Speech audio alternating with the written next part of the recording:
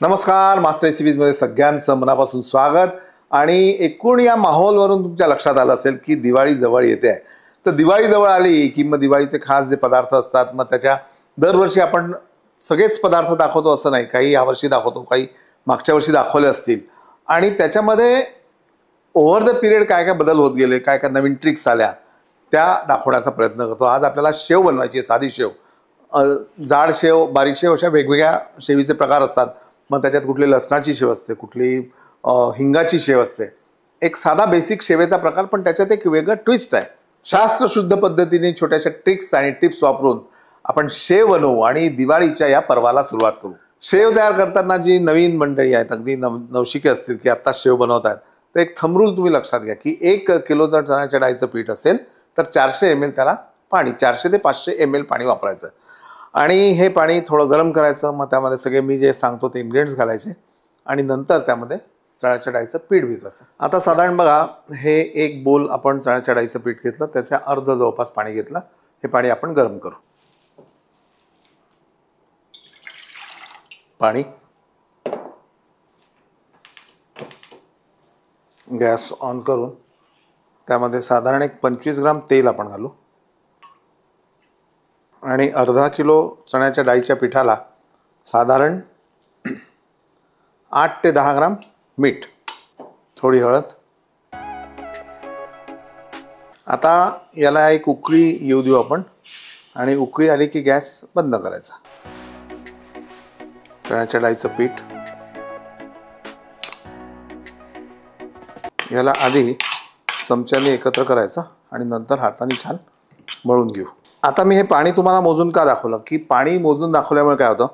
की परफेक्ट पाणी त्याच्यात किती पाहिजे? नाही तर आपण काय करतो? खूप जोर लागतो शेव काढायला. आणि मग ती शेव कडक सुद्धा होते.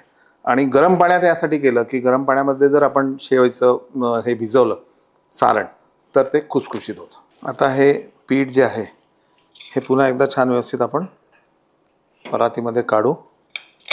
थोडं पाण्याचा हात घ्यायचा.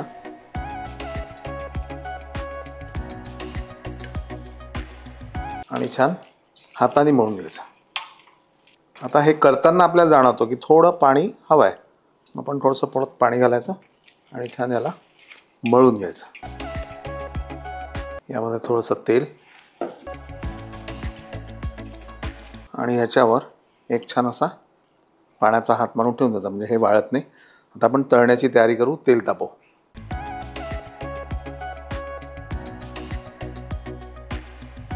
फ्राय पावडर थोडं तेल गरम झालं की फ्राय पावडर घालायची. आणि तिला असं मिक्स करून घ्यायचं. यांनी होतं काय की फ्राय पावडर जेव्हा आपण तेलात घालतो तर तेल होतं हलकं. आणि मग त्यामध्ये जोही काही पदार्थ आपण तळतो जसं शेव आहे चकली आहे त्यानंतर शंकरपाळे आहेत. कमीत कमी तेल घेऊन परत येतात. म्हणजे जेणेकरून तेलाचं तर खायचं पण तेल कमी जायला हवं त्याच्यात नाही का? म्हणून याचं डिस्क्रिप्शन बॉक्समध्ये सगळं डिटेल्स तुम्हाला देईन. आपण जाड शेव बनवतो आहे त्याच्यामुळे हा जो साचा आहे हा जाड शेवचा घेतला आहे मी. आणि हे भरताना यामध्ये थोडा पाण्याचा हात घ्यायचा. पाण्याचा हात घेऊन सारण भरायचं.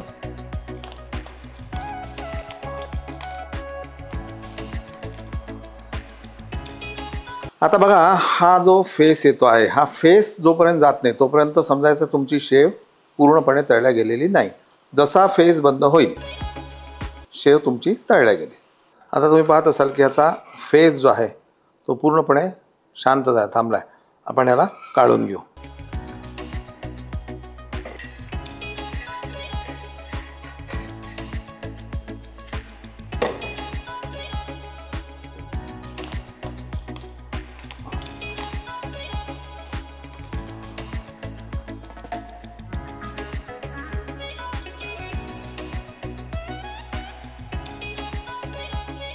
तर शेव आपण बनवली आणि अतिशय कुरकुरीत अशी झालेली फक्त शेव ठेवताना डबा बंद असलेलं झाकण म्हणजे अगदी गच्च बसलेलं झाकण अशामध्ये सेवा नाही तर सॉगी होईल. त्याचबरोबर आपण जो फ्राय पावडरचा वापर केलेला आहे तर फ्राय पावडरमुळे काय झालं की तुमचं कमीत कमी तेल त्या शेवेनी प्यायलेलं आहे. ओके नक्की ट्राय करा आणि केल्यानंतर आम्हाला कळवायला विसरू नका. पाहत राहा. मास्टर स्वीज लाईक करा सबस्क्राईब करा शेअर करा. नुसताच हा एपिसोड शेअर करू नका. ही बनवलेली शेवसुद्धा शेअर करा. करा की नाही? नमस्कार मी विष्णू मनोहर आणि तुमच्या आवडत्या उपवास उपहारगृहामध्ये तुम्ही नेहमी जात असता. वेगवेगळे उपवासाचे पदार्थ तुम्ही खात असता. पण आता उपवास उपहारगृहामध्ये एक भर पडली आहे. ती म्हणजे माझ्या आवडत्या रेसिपीज मी डिझाईन केलेल्या रेसिपीजची एक नवीन लिस्ट तुम्हाला मिळेल. आणि त्या तुम्ही चाखा. कदाचित असंही होऊ शकेल की कधीतरी मी तुमच्यासोबत असेल न्याहारी करायला. तर उपवास उपहारगृहाला नक्की भेट द्या.